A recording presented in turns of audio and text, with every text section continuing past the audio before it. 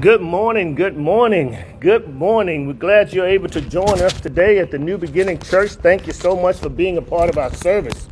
We uh, join you as you join us, we're asking you, the Lord, by participating in our service today.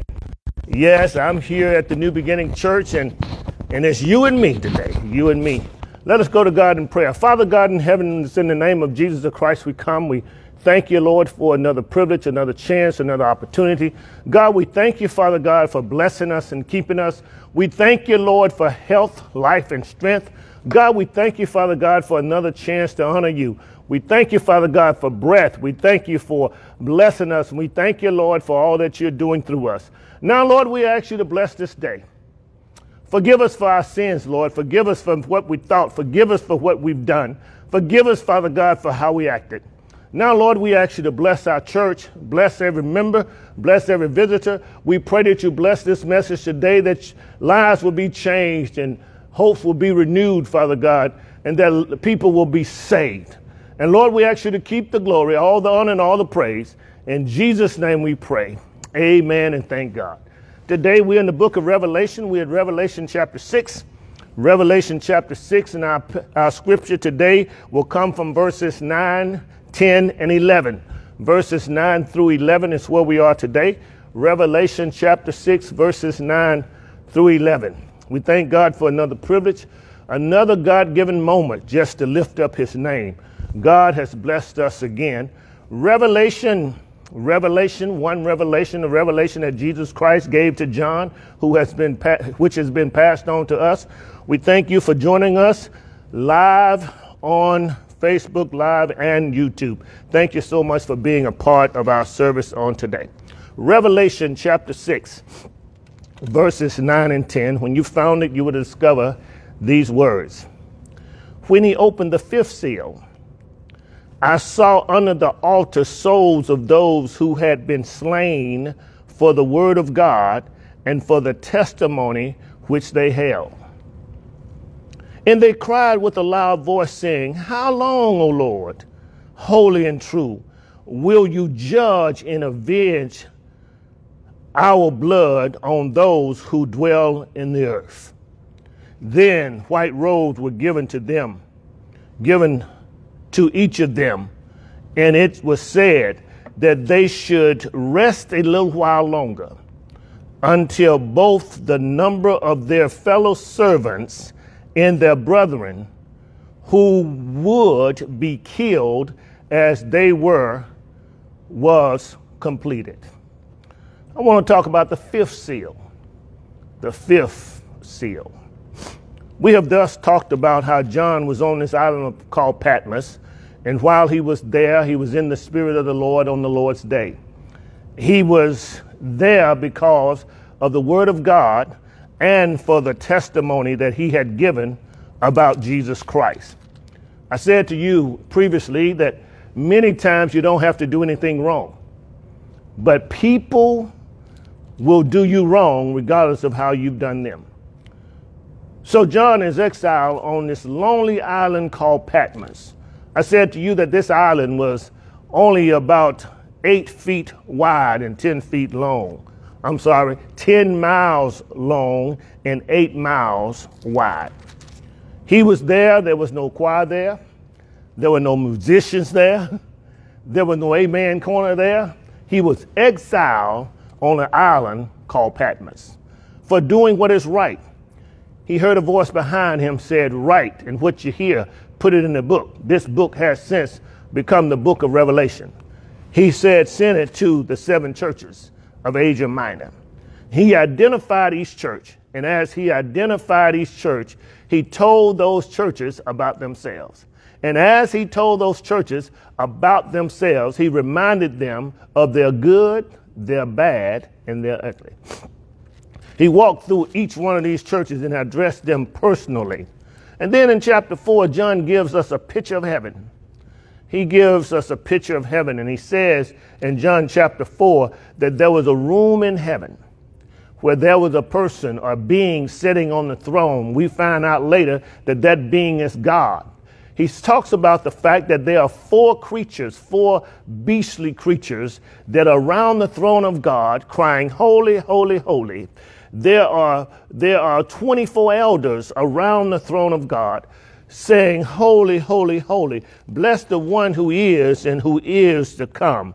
Then we move to chapter 5, where we're looking, we're finding that there was no one in heaven worthy to open the scroll.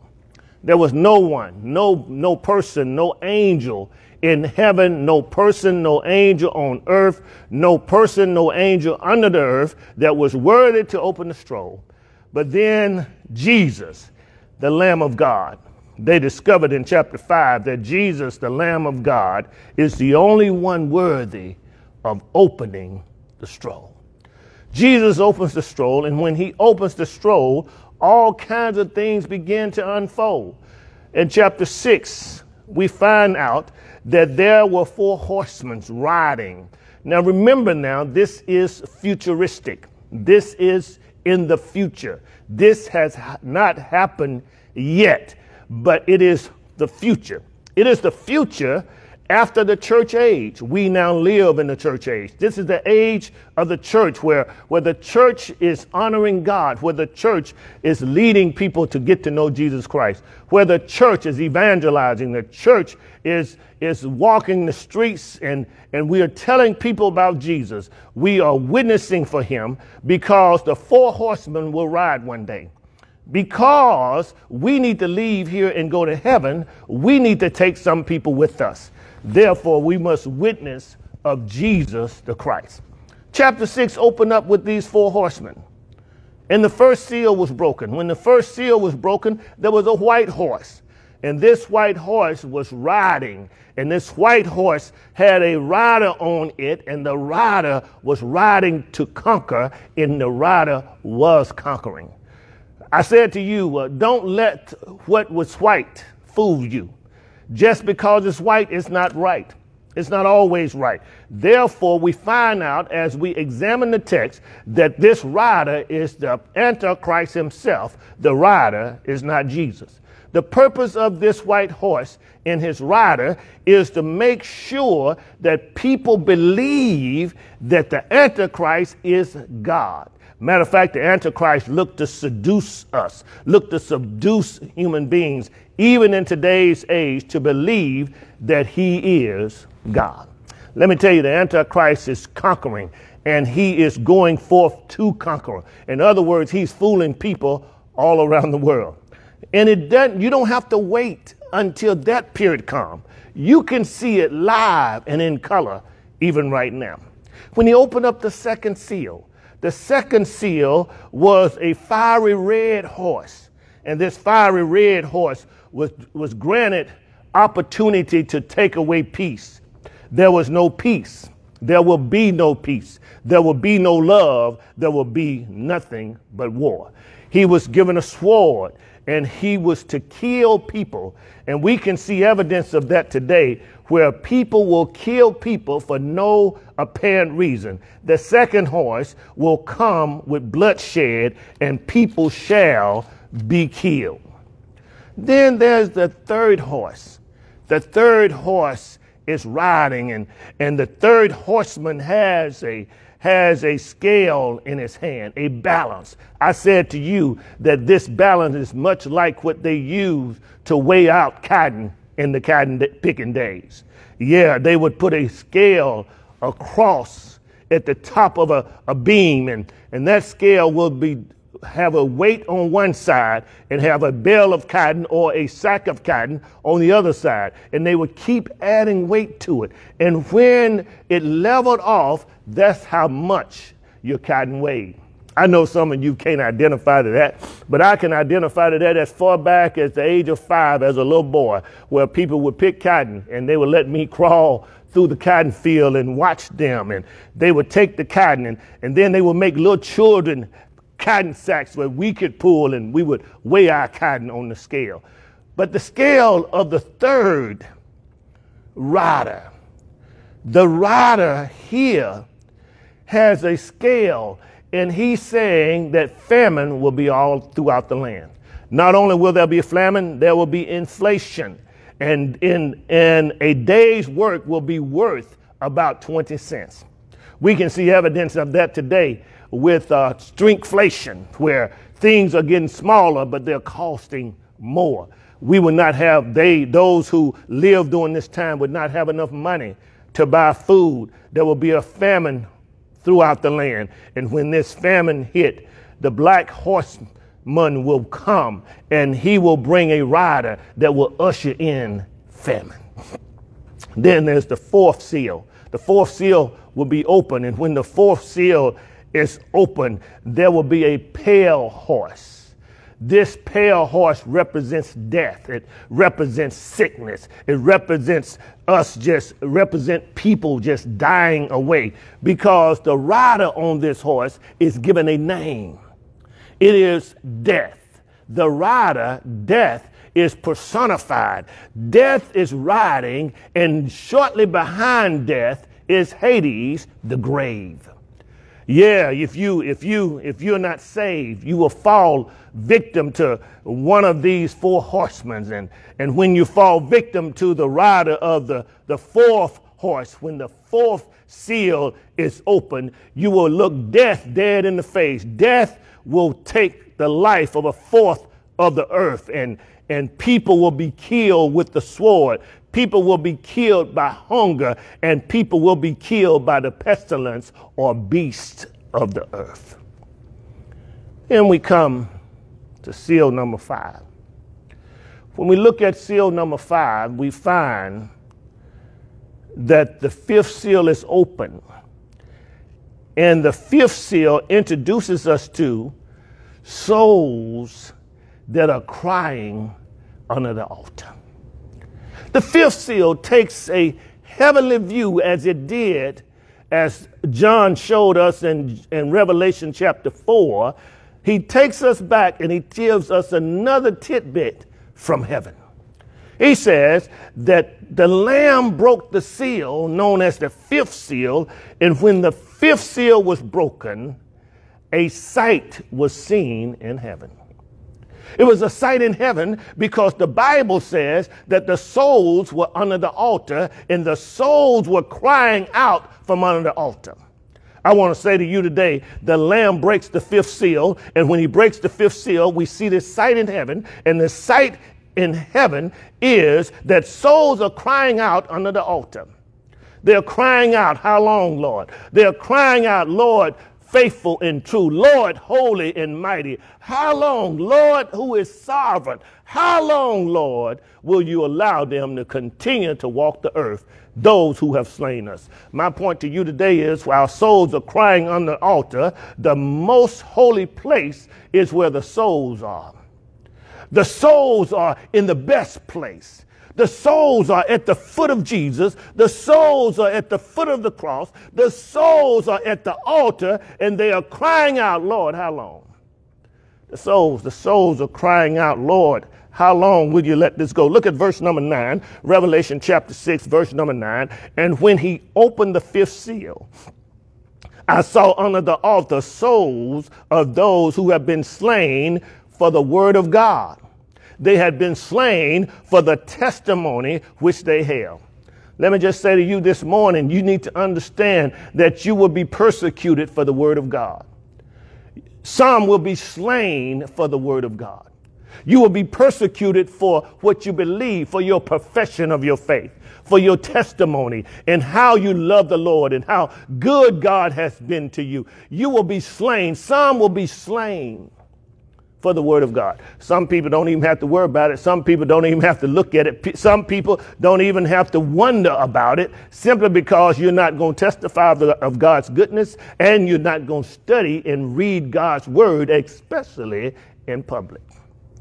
But these souls on an altar, this is doing during the period that is after the church age. This is after the church has been raptured off. When John talks to us in Revelation chapter 4, he shows a picture of heaven, and this is a picture of how the church has been raptured away and what the church will see after we are raptured away.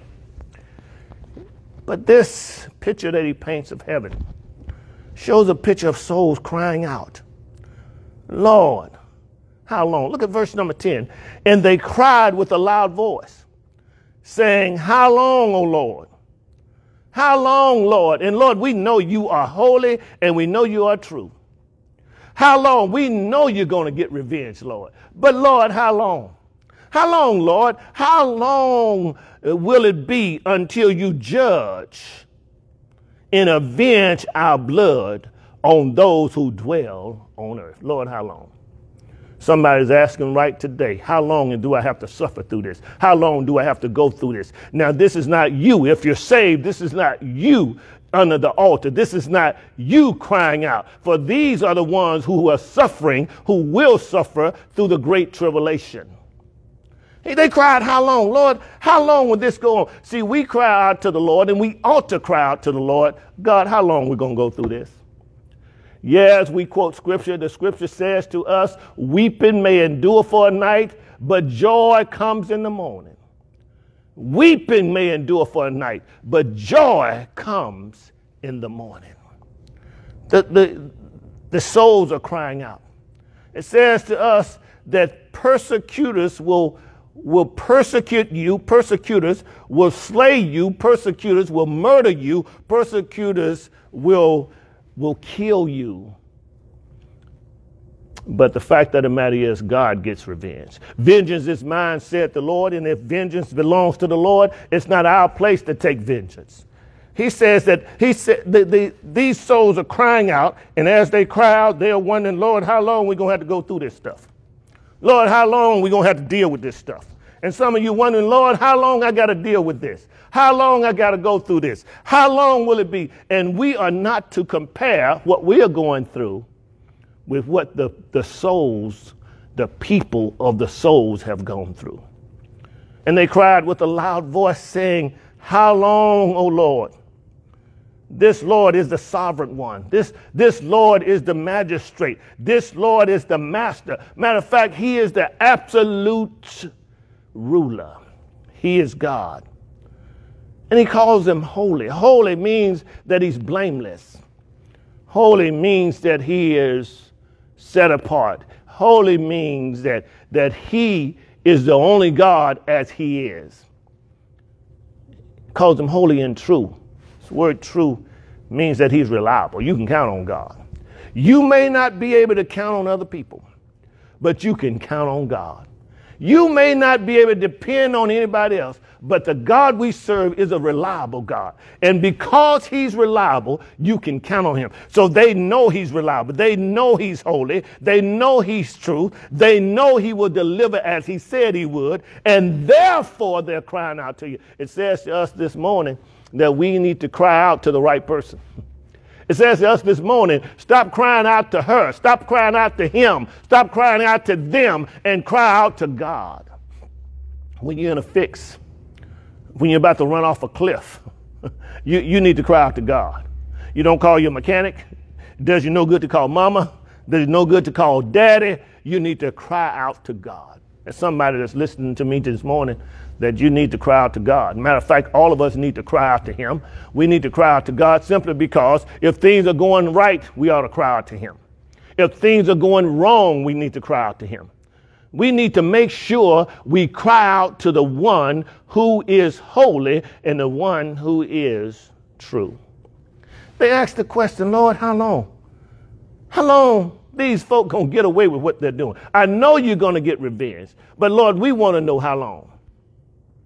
I'm saying to you this morning, they can kill the body, but the soul will live on. Man can kill the body, but the soul can live on. That's, that's why we have to trust in the God who can bless us, the God who can not only allow our bodies to be killed, but the God who has control of our souls. You see, many people depend more on people and afraid of people more than they're afraid of God. But they have not a heaven or hell to put you in. They cannot take away they cannot take away your soul. That's why it's important to be born again. It's important to have your soul anchored in the Lord. It's important to make sure that you're in the hand of God. Make sure that your soul is anchored in Him. Make sure you're born again because man can only hurt the body God keeps the soul. Look at the souls are crying out from out under the altar. The soul, the, they kill the body, but the soul lives on. Not, not, they're not, they're not under, their souls are not under the altar because of what they've done. Their souls are not under the altar because of what they care, how they carried themselves. Their souls are under the altar not because of their death, not because of their sacrifice, but it's because of the sacrifice that Jesus already made on Calvary. It's because God has given his son and his son has given his blood. And because his son has given his blood, he washes us whiter than snow. We qualify for heaven simply because of Jesus and how we trust what he did on the cross. So they're not, they're not under the altar. They don't have that position because of just their sacrifice. They don't have that position just because they went about doing the word of God. They don't have that position just because they had a testimony of who God is, but they have that position because of Jesus the Christ, the one who died for us over 2,000 years ago. Therefore, they're on the altar. The church wraps it up. The great tribulation begins to take place. These people are convicted of the Word of God, and as they are convicted of the Word of God, then they are crying out, Lord, how long? Lord, how long we got to put up with this? Lord, how long we got to. And let me just tell you the cause of death. The cause of death is because they stood on the Word. The cause of death because they continually stood on the word of God. The cause of death is because they testified of who God is and they began to reach out to others and tell others what God is, who God is, and what God can do. Their testimony is their cause of death. Their study of the word and their speaking of the word is the cause of death. If you're going to die for anything, you need to die for the Lord. For he's the one who not only keeps your body, he can also keep your soul. verse number 11, verse 11, 11 says it. Then a white robe was given to each of them. Then a white robe was given to each of them. This white robe was a robe of, robe of encouragement. This white robe was a robe to let them know that, that Jesus has paid it all. This white robe was to let them know that their death was not in vain. This white robe was a robe where each of them, they didn't share robes. The Bible says they cried out with one voice. They were on one accord. Oh Lord, I wish the church would get on one accord. The Bible says they cried out with a great voice. They were on one accord. They wanted to know the same thing. They had the same desire, and they cried out with a great voice. And when they cried out with a great voice, they were only crying out with one voice. They were in unison. So they were given a robe. Even though they had one voice, each one of them were given a separate robe. Each one of them was given a robe. They were given a robe, and, and this robe was to remind them of the cleansing power of the blood of Jesus. And it was said to them that they should rest a little while longer. It was said to them that they should rest a little while longer until both the, the number of those who were fellow servants and the number of those who were brothering would be killed also. He says, and then when that is fulfilled, then it will be fulfilled. Then they will have vengeance taken upon them. Let me just say to you today, in this little lesson, I want to say to you today that there will be a cause of death. The cause of death will be the fact that they stood on the word of God. The cause of death will be the fact that they testified of God and who God is. The cause of death will be the fact that, that they stood on the promises of God and they realized and they promoted who God is. And they were killed for it. And here they are in this heavenly scene, crying out before the Lord. They crying out before the Lord. This cry was much like a croak. So, in other words, they were croaking like a raven would croak. They were screaming, and the Bible says they were screaming, screaming out loudly. And even though they were screaming out loud, they were praying humbly. They were praying humbly because the fact of the matter is they were approaching the holy God. Now, when you approach him and you remind him of what you're asking him to do, what you need to understand is that as God is approached, he must be approached humbly, simply because he is God. They were crying out.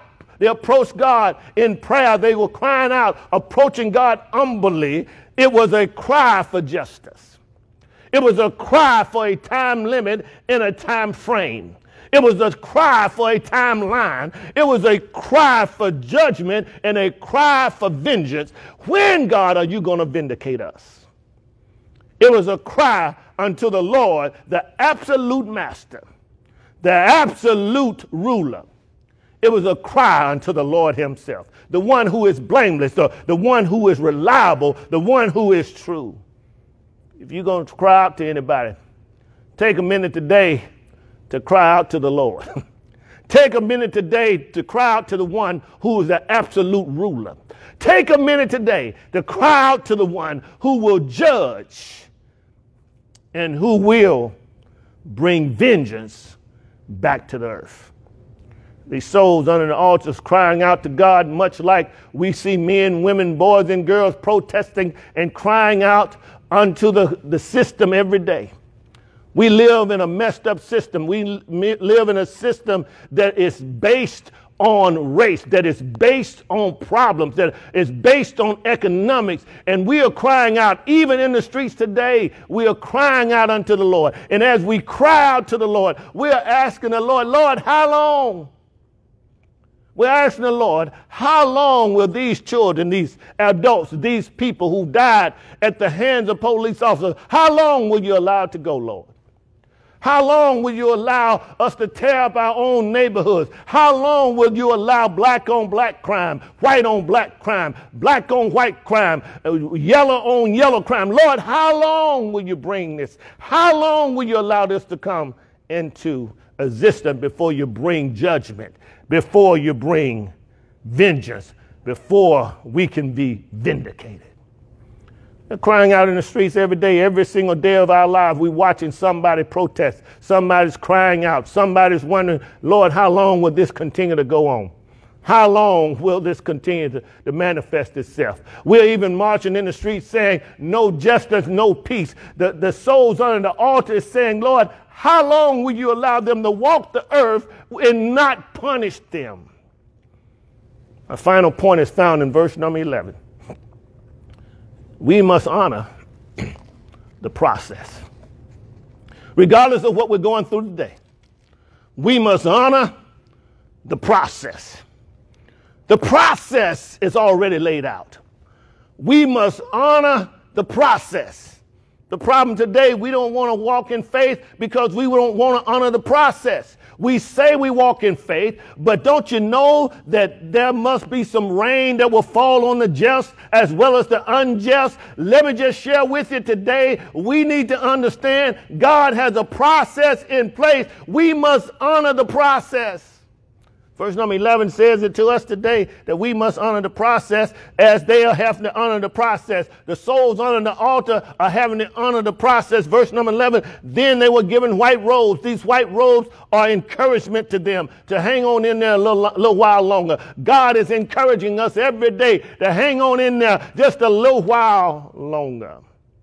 Then a white robe was given to each of them, and it was said to them, that they should rest a while. They should rest a while longer. In other words, there was no work going on. They, they, was not, they were not in the midst of things that, that, that, that caused them pain. They just was curious enough. They just wanted to know how long. It says you're going to wait a little while longer. Just wait a little, while, a little while longer. I want to say to you today what you're going through. Just wait just a little while longer. God is still in control. Just wait just a little while longer because God is coming and, and God is going to set the record straight. Just wait a little while longer. He says to them, I know you're looking for a timeline. Let me give you some words of encouragement right now and let you know I'm going to give you a white robe. He gives them a white robe, and it is the robe that was washed with the blood of Jesus. According to Revelation chapter 7 and 14, the question is asked, Who are they? It says that these are the ones, these in these white robes, these are the ones who have successfully come out of the great tribulation. You're given a white robe. They wanted a timeline. They wanted a time limit. They, they wanted to know when God was going to come and, and be a blessing by avenging, by serving justice, by vindicating them. He says, wait just a little while longer. There are some folk that still got to be killed. There are some brothers and sisters that, that haven't made it under the altar yet. There are some brothers and sisters that's going to stand on the word of God during these times after the church is gone. There are going to be some brothers and sisters that's going to stand on the word of God. There are going to be some brothers and sisters that's going to testify of God's goodness. They got to come. They got to be slain. They're going to have to be killed. Trust the process. And many times when we trust the process, and we honor the process, it's not good news for us. The process doesn't always give us good news. It's a, it's a sad thing when every time the preacher preaches, you can shout on it. It's a sad thing when every time the preacher stands, he gives you good news. Because when I look at the prophets of old, the prophets of old did not always give good news.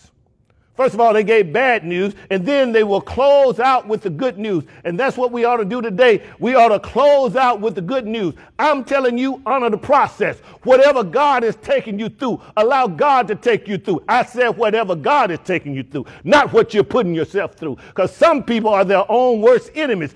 Don't put yourself through a process that you don't have to go through. Allow God to take you through the process. And when God is taking you through the process, honor the process, trust the process, endure the process because Jesus did it. There's a process you got to go through. You can't short circuit the process. You can't go around the process. You can't impede the process. You can't usurp the authority of the process. God has a process that you just going to have to go through. What is the process? What is the process? It has been said that we are twice children and once adults. We can see it every day. We're twice children and once adults. That's a process you can't get past. The only way you're going to get past that process is that you get out of here. The only way to get past this process is that you die. I want to tell you today trust the process, honor the process, endure the process, and God has a great victory on the other side. The text declares to us this is the fifth seal. And in this fifth seal, we need to understand that we have an opportunity to observe those who are not saved, that get saved in the midst of the great tribulation. Then they're under the altar crying out aloud, croaking out aloud like a raven would croak. They are crying out aloud for justice. And we are still on planet Earth crying for justice today. But one of these days, we're going to get out of here before this process even takes place. One of these days, if you're saved, if you're born again, this process is not a process that you have to go through. You can be saved today. You can be born again today. You don't have to go through this crying process. You don't have to be under the altar. You don't have to cry out for justice. You can have peace with God. You can have the peace of God even while you're walking around here on planet Earth. I tell you, trust the process because Jesus had to trust the process. Over 2,000 years ago, he trusted the process. Over 2,000 years ago, he gave his life as a ransom, a voluntary gift. He gave his life as a payment. He gave his life to buy us back, to redeem us. He gave his life. Jesus trusted the process. Peter tried to get Jesus killed in a midnight brawl. He tried to cut, he cut Malchus's ear off. Jesus reaches down, picks Malchus's ear up, puts it back on the side of his head, and said, Put up your sword, Peter. There's a process. Peter is trying to get Jesus killed in a brawl when God already has the process laid out. What's the process, preacher? I'm so glad you asked. Over 2,000 years ago, Jesus died on Calvary. He gave his life on Calvary. He died on Calvary between two thieves. They killed him on Calvary. They murdered him on Calvary. He voluntarily gave up his life on Calvary's hill. He died for you and he died for me. He was trusting the process. He was honoring the process process. He was enduring the process. He died on Calvary. They took him off the cross, laid him in a barber tomb. It was a barber tomb because he didn't need it too long. It was a barber tomb because every morning the process showed up and the process paid off. Early that third day morning, he got up with all power in heaven and earth in his hand. You can go to heaven. You can be born again if you trust the process. The process is to trust Jesus as your personal Lord and your personal Savior. He died for you over 2,000 years ago. He gave his life for you over 2,000 years ago.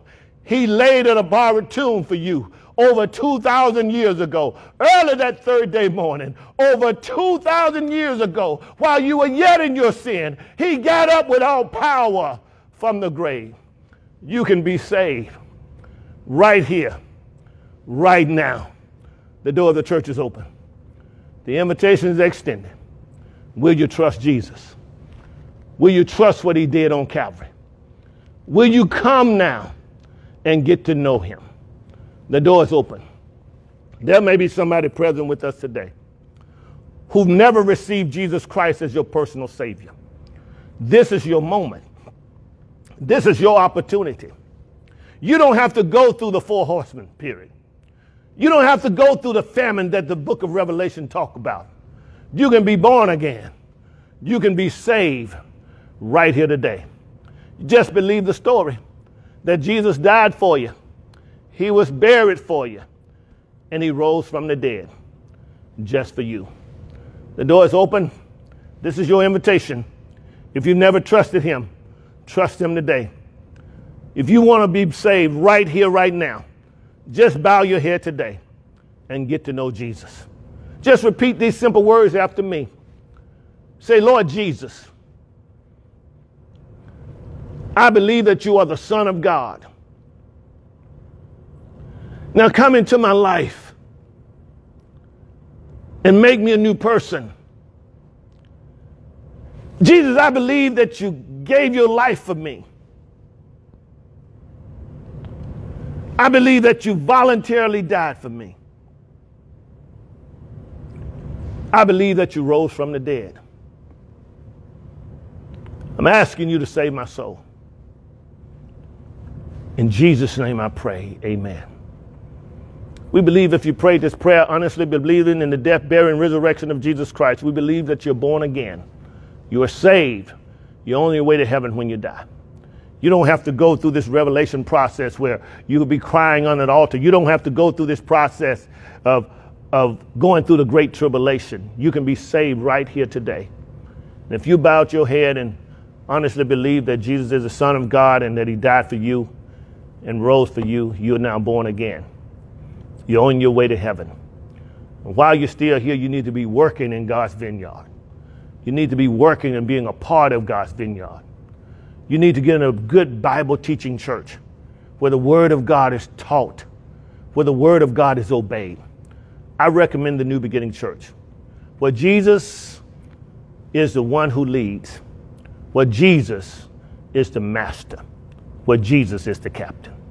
I recommend the New Beginning Church. If you reached out today, if we've reached you, and you're willing to reach out today, let us know that you received Jesus Christ during this broadcast. Let us know that you need a church home. Inbox us and let us know, and we'll be glad to welcome you to the New Beginning Church. We're located here at 4251 Schurmier Road, Houston, Texas. That's Schurmier Road, S C H U R M I E R, S C H U R M I E R. We're here at the New Beginning Church, 4251 Schurmier Road, Houston, Texas, 77048. Please come by and visit with us. Please come and let us know. Please come and, and re- rejoice with us. And if you if you receive Christ today, we really want to rejoice with you. If you want a new church home, we welcome you to this church. Thank you for joining us. Thank you for being a part of our service. Thank you for attending. We say God bless you. It is now offering time. It is time to give to the Lord through tithes, offering, and sacrificial gifts. You can give by two means. First of all, you can give by Zelle. Our account is lifting.jesus at yahoo.com. Lifting.jesus at yahoo.com. Our Zelle account is lifting.jesus at yahoo.com. Or you can mail in your gifts, your offerings, to New Beginning Church, P.O. Box 503, Missouri City, Texas 77459. That's New Beginning Church, P.O. Box 503, Missouri City, Texas 77459. Thank you so much for your gifts. Lord, we thank you, Father God, for these gifts. We thank you for blessing us. We thank you for income. We thank you for increase. We thank you for who you are, Father God. And we thank you for every person who is given. We ask you to bless them even 100 fold. Bless them to walk with you. In Jesus' name, amen and thank God. We have many on our prayer list today. Let us pray for one another. And pray for the New Beginning Church. Pray for, for a New Beginning Church. Pray for health. Pray for strength. Pray for empowerment. Pray that we reach souls for Jesus Christ. Lift up and call out the name New Beginning Church, 4251 Mile Road, Houston, Texas, 77048. Call our name out. Call the name of the New Beginning Church out. Pray with us and, and pray for us. Thank you so much for joining us. Thank you for your gifts. Thanks for being a part of our service. Here at the New Beginning Church, we are uniting the church, strengthening families, supporting schools, and empowering neighborhoods to impact the world as we're reaching souls by lifting Jesus. Jesus says, "In I, if I be lifted up from the earth, will draw all men unto me. God bless you and God keep you. Father God, we thank you now. We bless your name. We thank you for your mercy and your grace. We thank you, Father God, for this word. We ask you to bless this word, that this word will fall on good soil. We ask you to convict. We ask you to save. We ask you to convert. We ask you, Father God, to approve those who have listened and those who will listen. We pray, Father God, that you continue to bless our church. Bless our church to grow in, in numbers. Bless our church to grow financially. And most of all, Lord, bless our church to grow spiritually. That we will give you the glory, all the honor and all the praise. We praise you, we honor you, we glorify you. We thank you, Lord, and we say hallelujah to your name. For we know you are the only true God. We know you're the holy God. And we know that we can follow the process. Bless us to follow the process. Bless us to see these seals being opened and glorify your name and honor you. Now unto him who is able to keep us from falling, unto him the only wise, the only great God, unto him be power, be glory, and dominion. Until we meet again, let us say together, Amen. Amen. God bless you and God keep you is our prayer. Be blessed.